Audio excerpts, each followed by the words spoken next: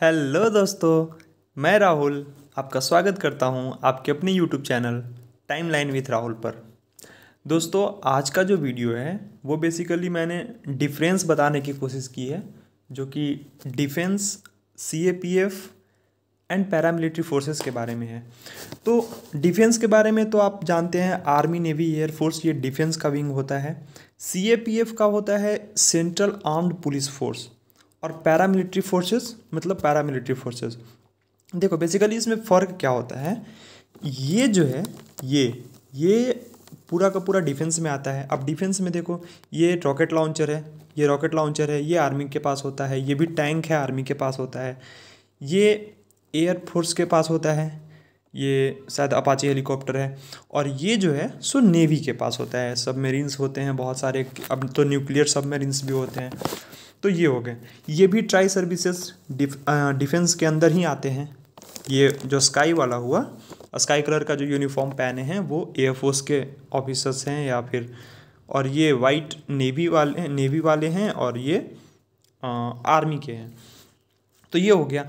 और ये जो है साइड में ये ये पैरामिलिट्री के अंदर में आते हैं ये लोग। ये हैं इंडियन कोस्ट गार्ड आईसीजी और फिर इसके बाद जो ये नीचे में है C R P F B S F C I S F ये सब, ये चारों जो आते हैं वो सेंट्रल आर्म्ड पुलिस फोर्स ये सेंटर के अंदर में आते हैं। मैं एक एक करके सबके बारे में डिफरेंसेस नेक्स्ट स्लाइड में बताते जाऊँगा, लेकिन अभी मैंने टाइमलाइन एक्चुअली ऐसा फिगर बना रखा है ताकि आपको पता चले कि रफ स्केच हो जाए। और ये सी आर पी एफ़ हुआ, जो फ़र्स्ट वाले हो गए सी आर पी एफ़ हो गए। अब ये मैं स्पेशल एक और वीडियो बनाऊँगा जिसमें सबका अलग अलग जो भी काम है, वो मैं एक्सप्लेन करूँगा। वैसे कोशिश किया है मैंने इसमें ही एक्सप्लेन करने की। नेक्स्ट स्लाइड में मैं एक्सप्लेन कर दिया हूँ। ये बी एस एफ़ हो गए। और सी आर पी एफ़ तो इंटरनल सिक्योरिटी के लिए होते हैं। B S F India Pakistan India Bangladesh border पे बी रहते हैं। सी आई एस एफ़ जो हुए, वो इंडस्ट्री वगैरह को देखते हैं। एस एस बी है नेपाल बॉर्डर के साथ I T B P China के साथ। असम राइफल्स जो है, ये ये एक्चुअली इसमें मैंने बना दिया है, लेकिन असम राइफल्स जो हैं, वो पैरामिलिट्री के अंदर ही आते हैं। पैरामिलिट्री के अंदर में आते हैं। ठीक है? तो अब हम लोग नेक्स्ट एक एक करके हम लोग समझने की कोशिश करते हैं। अब आते हैं हम लोग डिफेंस के बारे में। डिफेंस और पैरामिलिट्री देखो डिफेंस में क्या होता है ना कि जो डिफेंस है, वो डिफेंस मिनिस्ट्री के अंदर में आता है।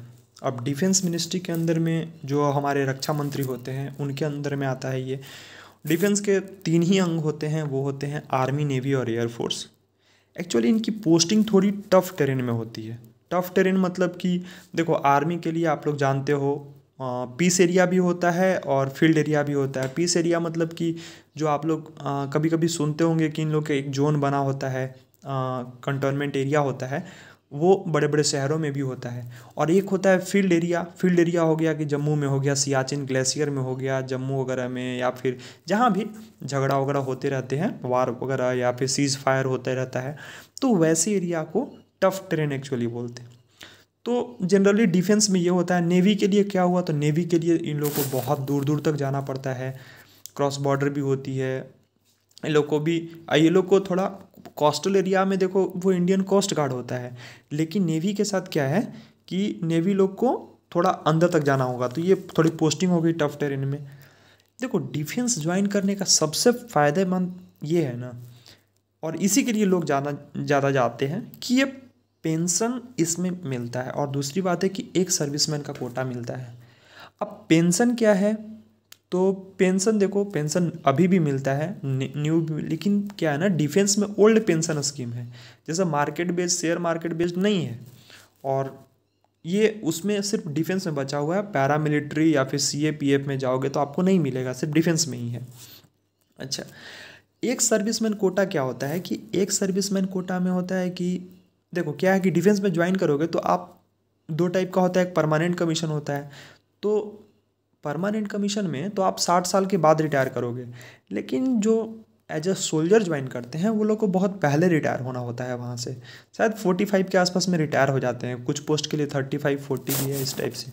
तो आप मतलब एक यंग एज में ही, क्योंकि उन लोग का फिटनेस लेवल ऐसा होता है ना, कि वो बहुत पहले रिटायर हो जाते हैं और उस समय वो सोसाइटी को कुछ दे सकते हैं, देश को और भी सेवा कर सकते हैं। तो इसलिए उनके लिए एक सर्विसमैन का कोटा होता है। किसी भी टाइप का वैकेंसी आए। आप चाहे बैंकिंग लो, चाहे रेलवे लो, चाहे एसएससी लो, चाहे स्टेट लेवल का लो, किसी भी वैकेंसी में उनके लिए कुछ परसेंटेज ऑफ़ सीट रिजर्व्स होते हैं। अब उसमें क्या होता है ना उनकी कटअप बहुत कम जाती है। तो यार, एक तो तुम्हें पेंशन मिल रहा वहाँ से और फिर तुम यहाँ जब स्टेट में ज्वाइन करोगे तो फिर तुम्हारी एक्चुअली में क्या है ना बहुत बेनिफिट मिलता है। अच्छा मैं बता ही देता हूँ। तो एक तो बेनिफिट वो मिल गया पेंशन आपको मिल रहा है। दूसरी बात आपको रिजर्वेशन मिल गया आपको बहुत आसानी से आपका सिलेक्शन हो जाएगा भीड़ से आप अलग हो गए। और तीसरी जो आप जिस स्टेट में आप ज्वाइन करोगे या सेंट्रल गवर्नमेंट का किसी भी जॉब में मान लो आपको बीस हज़ार के आ, कोई भी एलडीसी वगैरह में ही ज्वाइन कर रहे हो आपका बेसिक बीस हज़ार है अठारह हज़ार है। अगर आप लेकिन जो आप वहाँ लास्ट पेमेंट जो रिसीव किए थे ना आप डिफेंस में वहीं से आप इसमें ज्वाइन करोगे आपको सैलरी वही वाला मिलने लगेगा। रेलवे में नहीं था तो रेलवे में अब हो गया क्योंकि मैं रेलवे में वर्क करता हूँ तो मुझे पता है यहाँ भी अब लागू हो गया है। तो ये हो गया। आ, बहुत फ़ायदे हैं यार डिफेंस में ज्वाइन करने का। डिफेंस में और भी बहुत कुछ है। एक तो कि बहुत सारे स्किल वहाँ सिखाए जाते हैं। तो वो मैं नेक्स्ट स्लाइड में आगे की स्लाइड में बताऊँगा। बहुत सारे मतलब आप वहाँ से एक रिसोर्स बन के निकलोगे अगर डिफेंस ज्वाइन करते हो तो। ये अर्ली एज में ही लोग ज्वाइन कर लेते हैं। देखो आर्मी में थोड़ा कम अपॉर्चुनिटी है। आर्मी का थोड़ा कम है। लेकिन नेवी और एयरफोर्स में आप जाओ, आप तरह तरह के कोर्स सीख सकते हो। बहुत सारे कोर्स होते हैं। आपको एक स्किल्ड पर्सनालिटी बना देगा अंदर में। ताकि बाहर आके आप कुछ भी ज्वाइन कर सकते हो, आप बैठोगे नहीं। और पर्सनालिटी डेवलपमेंट तो होता ही है। आपका आपका जनरेशन सही हो जाएगा। तो ये हो गया डिफेंस का। रेस्पेक्ट इन सोसाइटी ऑब्वियसली इसमें तो बोलना ही नहीं है यार। जानते ही हो, बस डिफेंस का ही तो रिस्पेक्ट है। मतलब पैरामिलिट्री का भी है, लेकिन बेसिकली यही लोग रिस्पेक्ट तो है ही भर के। है हेडेड बाई कमीशन ऑफिसर अच्छा। डिफेंस में एंड इसमें पैरामिलिट्री फोर्सेस में, ये दोनों में क्या होता है ना? कि कमीशन ऑफिसर ही हेड करते हैं। कमीशन ऑफिसर मतलब होता है कि जैसे आपने सुना होगा कि लेफ्टिनेंट होते हैं मेजर होते हैं, इस पे मैं वीडियो एक बनाऊँगा रैंकिंग जो स्ट्रक्चर होता है ना आर्मी नेवी एयरफोर्स वगैरह में तो ये होता है। तो कमीशन ऑफिसर में होता है जो अभी एग्ज़ाम हुआ है एसएसबी वगैरह होता है, पाँच दिन का इंटरव्यू प्रोसेस होता है, उसके बाद जो कमीशन होते हैं, वही सब इसके सीनियर तक बनते हैं। इवन एक एनडीए से क्वालिफाई बंदा लीड कर सकता है आर्मी का हेड को, और ऑब्वियसली करता भी है। तो इसमें I S I P S का रोल दखल नहीं होता, इनका अपना ऑफिसर होता है वही ऑफिसर कैडर एंड जनरल तक बनते हैं। तो ये हो गया कमीशन ऑफिसर अलावेंसेज बहुत मिलते हैं। अलावेंसेज मतलब भत्ता बोला जाता है जिसको। वो इस डिफेंस में बहुत सारे मिलते हैं। तरह तरह के भत्ता मिलते हैं। आप अगर फ़ील्ड एरिया में हो तो बहुत ज़्यादा वहाँ extra allowance risk allowance insurance allowance ration allowance मतलब यूनिफॉर्म अलावेंस बहुत टाइप का भत्ता मिलता है तो आपका अलावेंसेस बहुत ज़्यादा हो जाएगा। ऑब्वियसली थोड़ी सी टफ टेरेन रहती है, थोड़ी दिक्कत होगी, लेकिन आपकी फैमिली बहुत आराम करेगी। दूसरी बात मेडिकल फैसिलिटी होती है बेस्ट एजुकेशन मिलता है आपके चाइल्ड को। अच्छे अच्छे टेक्निकल इंस्टीट्यूट हैं लोन मिलता है बहुत सस्ता। मेडिकल फैसिलिटी आपके फैमिली के लिए भी होगा। इवन आप रिटायर कर जाओगे, उसके बाद भी आपके फैमिली को देख रेख करेगी डिफेंस तो बहुत सारे चीज़ें हैं इसमें जो कि आपको डिफेंस सहूलियत देती है। प्रमोशन ऑब्वियसली प्रमोशन बहुत हैं। आप अंदर में पढ़ सकते हैं डिपार्टमेंटल एग्ज़ाम दे के आगे बढ़ सकते हैं। बहुत सारे हैं इसमें ऑप्शंस आते हैं। और लिविंग स्टैंडर्ड ऑब्वियसली जब आप, देखो, क्या है ना कि डिफेंस एक अछूता रह गया है। वो, वहाँ पॉलिटिकल इंटरफेरेंस बहुत ज़्यादा नहीं रहता है। इसीलिए बोला जाता है थोड़ा कि पुलिसिंग और उधर पुलिस पे थोड़ा उंगली भी उठती है, डिफेंस पे नहीं उठती, कारण कि वहाँ पॉलिटिशियंस का इंटरफेयर नहीं होता। तो उनका सिस्टम ब्रिटिशर्स के समय में जो डिसिप्लिन, रूल, रेगुलेशन ये सब थे, वो आज तक कायम है। तो वहाँ लिविंग स्टैंडर्ड थोड़ा अच्छा होता है। थोड़ा आप देखोगे ना, डिफेंस वाले थोड़ा ब्रिटिशर्स टाइप का लाइफ जीते हैं। लाइफ जीते हैं मतलब कि वो कल्चर रह गया है अभी, उसी टाइप का एकदम। आप जाओगे वहाँ, तब आपको पता चलेगा। मैं इसके बारे में कभी बाद में बताऊँगा कैसे रहते हैं, कैसे क्या करते हैं। मैंने बहुत नज़दीक से ऑब्ज़र्व किया है। मैंने एनसीसी की है, फिर मैंने एसएसबी बहुत बार दिया है। बहुत सारे ऑफिसर्स को मैं जानता हूँ लेफ्टिनेंट मेजर मेजर को जानता हूँ लेफ्टिनेंट कर्नल को भी जानता हूँ बहुत सारे को। तो मैं उनको बहुत करीब से जानता हूँ, इसलिए इस पर मैं बाद में बनाऊँगा वीडियो। अब हम लोग पैरामिलिट्री के बारे में बात करते हैं। बहुत लंबा खींच जाएगा वीडियो वैसे फिर। हो पैरामिलिट्री जो है वो होम मिनिस्ट्री के अंदर में आता है। होम मिनिस्ट्री मतलब गृह मंत्रालय। देखो पैरामिलिट्री में बेसिकली दो ही होते हैं। एक असम राइफल्स होता है और दूसरा कोस्ट गार्ड होता है। एन भी आती है और कुछ और अदर स्पेशल फोर्सेज हैं जिसको कि पैरामिलिट्री में रखा जाता है। असम राइफल्स जो है, वो इंडिया की सबसे पुरानी मतलब ओल्डेस्ट पैरामिलिट्री फोर्सेस है। एन तो नेशनल सिक्योरिटी गार्ड हो ही गया। इसका कुछ पोस्टिंग थोड़ी आसान होती है। अब आईसीजी का देखो आईसीजी का है इंडियन कोस्ट गार्ड का, लेकिन वो पोस्टिंग बेस वहीं होती है। मतलब कोस्टल एरियाज़ में ही होगा, बहुत थोड़ी दूर तक ही होती है। बीस किलोमीटर, पचास किलोमीटर जो भी हो, उसके बाद नेवी का स्टार्ट होता है। तो इनका यही है। इनका मैं आईसीजी का बहुत अच्छे से मैंने वीडियो एक बना रखा है प्लेलिस्ट में, आप वहाँ देख सकते हैं। इनके क्या रोल्स होते हैं, क्या रिस्पॉन्सिबिलिटीज होती है, कैसे ज्वाइन कर सकते हो आप, इसके बारे में मैंने बना रखा है क्लियरली दूसरा respect in society obviously paramilitary का भी है, क्योंकि बहुत लोगों को तो यही नहीं पता कि डिफेंस क्या होता है पैरामिलिट्री क्या होता है और सेंट्रल आर्म्ड पुलिस फोर्स क्या होता है। तो सब वही जानते हैं कि मिलिट्री और वैसे भी डिफेंस को मिलिट्री बोलते हैं अब वो चितकबरा, जैसे ये सी आर पी एफ़ ये सब का जो यूनिफॉर्म है ना S S B I T B P ये सब का थोड़ा चितकबरा टाइप का होता है। तो वो यूनिफॉर्म देखते के साथ बोलते हैं कि वो तो मिलिट्री वाला ही है डिफेंस वाला ही है। तो ऑब्वियसली रिस्पेक्ट है सोसाइटी में। हेडेड बाई कमीशन ऑफिसर फिर से वही, क्योंकि आईसीजी का जो है इंडियन कोस्ट गार्ड का रिक्रूटमेंट वही कमीशन ऑफिसर जैसे एसएसबी वगैरह होता है ना, वैसे ही होता है। एसएसबी का मतलब ये एसएसबी नहीं, इसका होता है सर्विस सिलेक्शन बोर्ड इंटरव्यू होता है पाँच दिन का। अच्छा अलावेंसेज इसमें भी अलावेंसेज अच्छे खासे मिलते हैं। प्रमोशन जो है, वो थोड़ा स्लो है इसमें। पैरामिलिट्री में अपॉर्चुनिटी इसमें भी है। आप स्किल सीखोगे, आप डिपार्टमेंट में रहोगे स्किल सीखोगे प्रमोशन होंगे एलडीसी वगैरह, लेकिन थोड़ा स्लो होता है। डिफेंस में बोलते हैं ना, सटाक सटाक, जल्दी जल्दी होता है वहाँ पे। अच्छा स्पेशल केस इन आईसीजी ये मैंने मार्क कर रखा है। स्पेशल केस इन आईसीजी और वो उसके पीछे रीजन है, क्योंकि इसका थोड़ा अलग प्रक्रिया है। क्योंकि आईसीजी में क्या होता है ना कि ये मिनिस्ट्री ऑफ़ होम अफेयर्स के अंदर आता है, लेकिन मैनेज किया जाता है डिफेंस के। मतलब इसके दोनों हैं डिफेंस मिनिस्ट्री भी है होम मिनिस्ट्री भी है। पैसा देता है होम मिनिस्ट्री और मैनेज करता है डिफेंस मिनिस्ट्री तो थोड़ा स्पेशल केस है इसके बारे में। अगर इंटरेस्टेड है तो आप प्लेलिस्ट में आप देख सकते हैं वीडियो अब नेक्स्ट स्लाइड में आते हैं। नेक्स्ट स्लाइड में ये देखिए, ये मैंने दिखाने की कोशिश की है, यही मैं बोल रहा था कि यहीं पे मैं बताऊँगा। ये देखो, ये बीएसएफ हुआ। बीएसएफ देखो, ये बॉर्डर के पास गार्ड कर रहे हैं। ये मान लो इंडिया पाकिस्तान का ही बॉर्डर होगा, या फिर बांग्लादेश के साथ भी ये बॉर्डर होता है। इनकी उन्नीस सौ पैंसठ में शायद स्थापना हुई थी। वही इंडिया पाक युद्ध इंडो पाक युद्ध के समय ही हुआ था इनका स्थापना। तो ये हो गया। ये जो सेकेंड वाले हैं, ये सी है सेंट्रल रिज़र्व पुलिस फोर्स तो ये सब सेंट्रल आर्म्ड पुलिस फोर्स के अंदर आते हैं। ये सेंटर के अंदर होता है और इनका काम सिविलियन और नॉन सिविलियन दोनों टाइप के होते हैं। तो ये मैं आगे के स्लाइड में बताऊँगा। ये मैं अभी बेसिक ऐसे ही बता दे रहा हूँ। ये हो गया CRPF central reserve police force ये होते हैं नक्सलाइट से लड़ते हैं। अंदर में अगर डिस्टर्बेंसेज होता है, नक्सल एरिया वगैरह से तो इसमें सी आर पी एफ़ लोग भी जाते हैं। ये हो गया I T B sorry C I S F central industrial security forces ये क्या करते हैं कि जितने भी मेट्रो हुए एयरपोर्ट हुआ, या फिर बड़े बड़े जो इंडस्ट्री हैं पब्लिक सेक्टर के, उनकी रखवाली करने का एनटीपीसी वगैरह तो उनकी जिम, इन्हीं सीआईएसएफ के जिम में होती है।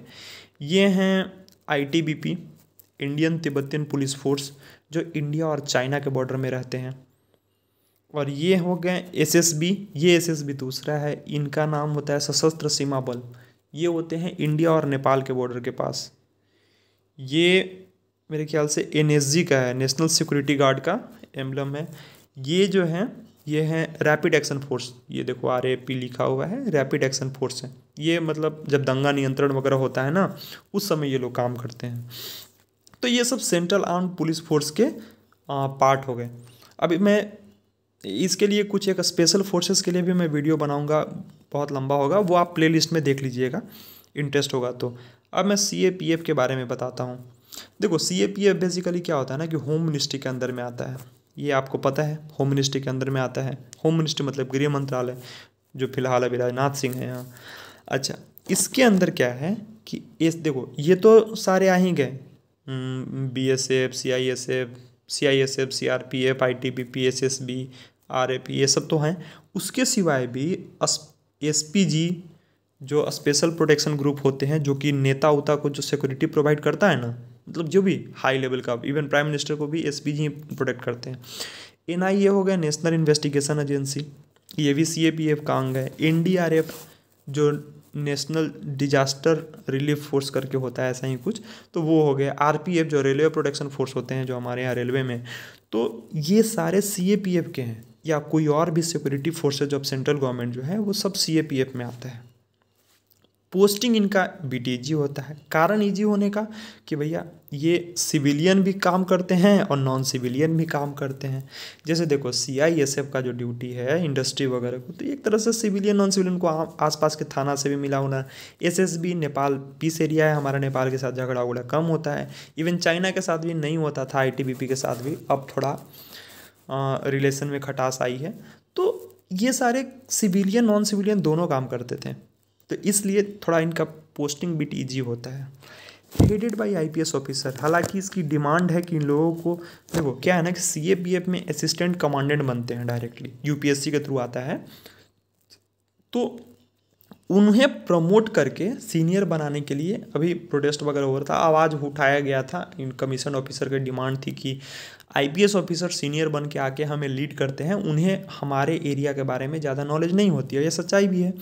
तो शायद डिमांड फुलफिल हो गई है, लेकिन अभी फ़िलहाल वो आईपीएस ऑफिसर ही उनके जो सीनियर होते हैं ना सीनियर मोस्ट अधिकारी, वो आईपीएस ऑफिसर ही होते हैं। प्रमोशन थोड़ा स्लो है सीएपीएफ में। सिलेक्शन देखो, क्या होता है ना सी ए पी एफ़ में सिलेक्शन एस एस सी के द्वारा होता है। अगर मान लो सिपाही बनना है आपको तो वो एस एस सी आपने सुना होगा, जो एस एस सी आता है। अगर आपको ग्रेजुएशन के बाद बनना है, इसके कमीशन ऑफिसर बनना है तो उसके लिए आपको यूपीएससी का निकालना पड़ेगा। यूपीएससी सीएपीएफ करके आता है असिस्टेंट कमांडेंट वो वैकेंसी निकालनी होगी। तो आप उसके थ्रू इसमें ज्वाइन कर सकते हैं। एन जो होता है ना, जो एन ये ये ये तो एनएसजी होता है वो नेशनल सिक्योरिटी गार्ड तो ये डिफेंस और सीएपीएफ दोनों से आते हैं। जैसे आर्मी के जो योद्धा लोग होंगे, जो मतलब बहुत उसमें से सिलेक्शन होती है। तो आर्मी से भी आर्मी नेवी एयरफोर्स जो भी हो इसमें से, और सी ए पी एफ़ से भी, जैसे central arm police force B S F ये सब सी आर पी एफ़ वगैरह हैं, इसमें से सिलेक्शन होती है बेस्ट फोर्सेस की। और वो सारे मिल के तब एन एस जी बनते हैं नेशनल सिक्योरिटी गार्ड ये होता है। अब हम लोग नेक्स्ट स्लाइड में देखते हैं। देखो कॉमन पॉइंट क्या है? कॉमन पॉइंट है, पहला good respect in society obviously इसमें तो कुछ सोचना ही नहीं है। Opportunity for a skill development to be a good resource for society इसमें भी कोई डाउट नहीं। कारण कि ये सच्चाई है कि सोसाइटी में फिट बैठ जाते हैं। दूसरी बात की जो स्किल डेवलपमेंट है, ये बेसिकली नेवी और एयरफोर्स में हमने बहुत ज़्यादा देखा है। बहुत सुना भी है, जानता भी हूँ बहुत नज़दीक से कि एयरफोर्स और नेवी में बहुत ज़्यादा मिलता है। इवन कोस्ट गार्ड में भी मिलता है। और वैसा नहीं, इस, ये सब बाकी भी जो सी ए पी एफ़ के अंग हैं या पैरा मिलिट्री फोर्स के अंदर में आते हैं, इनके पास भी होते हैं। बहुत सारे स्किल डेवलपमेंट कोर्स चलते रहते हैं। लेकिन क्या है कि ये कहीं ना कहीं इंगेज रहते हैं। पीस टाइम बहुत कम होता है। और नेवी एयरफोर्स के साथ क्या है ना कि वो हमेशा पार्टिसिपेट नहीं करते हैं तो उनका स्किल डेवलपमेंट का काम चलते रहता है। आर्मी का तो हमेशा पाकिस्तान चैन से रहता नहीं, रहने नहीं देता, और अब तो फिर चाइना नहीं रहने दे रहा। तो ये थोड़ा बिज़ी रहते हैं, इसलिए उनका स्किल डेवलपमेंट उतना नहीं हो पाता बट हाँ अपॉर्चुनिटी बहुत रहती है। Facility to live decent life देखो भैया, आपको अलावेंसेस तो बहुत मिलते हैं, इसमें नो डाउट अलावेंसेस बहुत मिलते हैं, और आपके नेक्स्ट जनरेशन के लिए एजुकेशन फैसिलिटी देखो डिफेंस में तो सारे फैसिलिटी सारे इंस्टीट्यूट हैं उनके। अगर वहाँ नहीं मिलता है तो paramilitary C A P F आप कहीं भी हैं तो आपको एजुकेशन का अलावेंसेज मिलता है। उसी को भत्ता बोलते हैं। तो बहुत सारे अलावेंसेज मिलता है। और सच्चाई है, और देखो डिफेंस में अगर आप रहोगे तो कारण क्या है ना कि डिफेंस में तो आर्मी उर्मी का अलग अपना कंटोनमेंट एरिया होता है, वहाँ पे आपको अलाउ नहीं किया जाएगा। वहाँ सारे व्यवस्था रहेंगे। बहुत डिसिप्लिन वहाँ जाने के बाद एक इन्वामेंट ही अलग होता है यार। जब जाओ कभी, मैं तो गया हूँ, मुझे एक्सपीरियंस है वहाँ का। वहाँ जाने के बाद लग कि एकदम दूसरी दुनिया में आ गया मैं। तो थोड़ा अलग होता है वहाँ का लाइफ वो वही लोग फील कर सकता है। अब जाओगे, आप बनते हो तो आप बिल्कुल ऑब्वियसली आपको भी मौका मिलेगा वो सब फील करने का। अच्छा अब allowances higher than civilian job obviously क्योंकि उनकी थोड़ी टफ़ जॉब होती है टफ़ टेरेन में होता है और थोड़ी रिस्क वाली ज़्यादा होती है तो अलावेंसेस तो मिलेगा ही ज़्यादा सिविलियन पोस्ट से।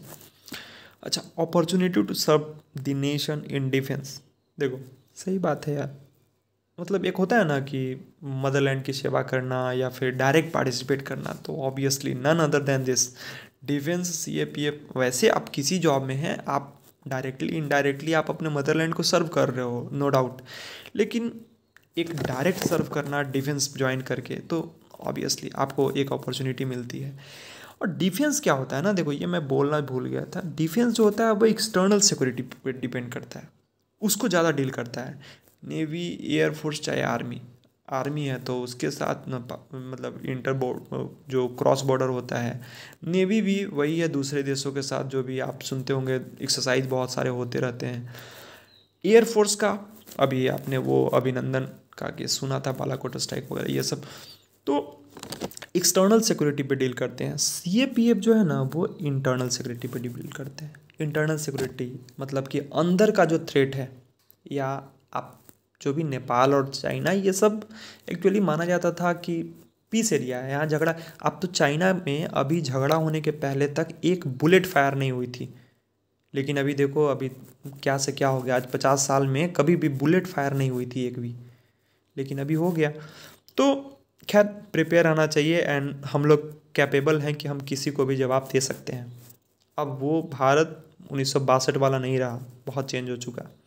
और देखो फिटनेस लेवल ऑब्वियसली यार डिफेंस ज्वाइन करो और फिटनेस ना हो। आप इसीलिए, देखो, आप पैंतालीस साल का जब वहाँ रिटायर होकर आता है ना बंदा, वो भी तीस साल का लगता है। क्योंकि उसकी फिटनेस लेवल का एक लेवल बन जाता है। तो आप ज़िंदगी भर फिट रहोगे, ज़्यादा दिन तक जियोगे और पेंशन देने के लिए सरकार है ही पेंशन देती है, बहुत सारे तो कुछ कुछ पॉइंट छूट चुका है, मैं कभी बाद में समरी करूँगा क्योंकि मैं अभी वीडियो बनाना सीख रहा हूँ। तो प्लीज़ आप लोग का मुझे सपोर्ट चाहिए, आप सब्सक्राइब कीजिए चैनल को ऑब्वियसली सब्सक्राइब करो यार, बढ़ाओ। लाइक करो इस चीज़ को। ग्रुप में बताओ, दोस्तों के पास शेयर करो व्हाट्सएप ग्रुप वगैरह में शेयर करो फेसबुक पे शेयर करो। रीज़न कि जितना फैमिली बड़ा होगा, बहुत लोगों को जानकारी मिल जाएगी। अगर आपको नहीं आता तो यार कोई अगर आपसे पूछता है कि क्या होता है, क्या नहीं होता तो कुछ नहीं लिंक दे दो यार, अपना समझते रहे। तो ऑब्वियसली उसके लिए भी दोस्त लाइक करो शेयर करो लोगों के साथ। कमेंट कीजिए। आपके कमेंट का इंतज़ार है, लेकिन अच्छे अच्छे कमेंट कीजिए। ठीक है दोस्त मिलते हैं अगले वीडियो में अच्छे इन्फॉर्मेशन के साथ। जय हिंद।